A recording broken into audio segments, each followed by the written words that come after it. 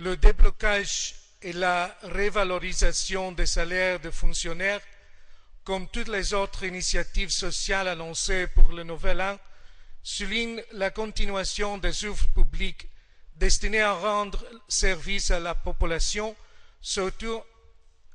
en favorisant le système sanitaire public et l'éducation. Les membres du corps diplomatique qui ont acquis le bien de la Côte d'Ivoire saluent votre intention de continuer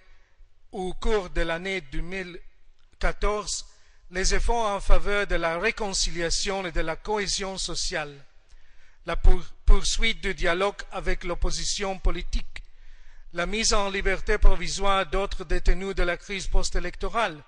l'intensification de la politique de retour volontaire des réfugiés ivoiriens.